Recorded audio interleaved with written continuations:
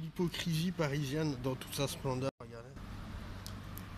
Uriner dans la rue, et on va juste se tourner. On a ça.